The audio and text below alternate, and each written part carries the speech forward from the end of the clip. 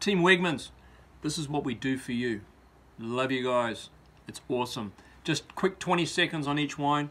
Lawless Single Vineyard Oakville. It's actually farmed organically, but this is a wine that we've been making for the longest period of time with you guys.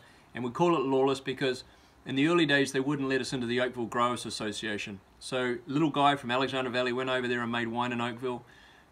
Eventually they let us in and we're very grateful for it. We love the Oakville Growers Association, but we also love the wine Lawless. 100% Cabernet, all from Oakville, brilliant. The next one is brand new, also from Oakville. This is the first time we've done a red blend from Oakville.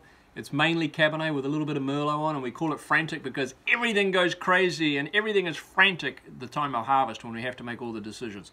So that's where frantic is. And right now, it feels like it's a little bit frantic with everything going on out there. And the last two wines, which are really special to us, these are from Sonoma County. We have an Alexander Valley Cabernet and a Russian River Chardonnay. And we call these ones Station Master because the Station Master is the guy that directs or the woman that directs everything during the harvest, during the most frantic time, directing all the trains. There's 2,000 decisions we think that goes into every bottle of wine. But that is what we bring you with the Station Master. Anyway, love these four wines. Love you guys at Wegmans and all the best.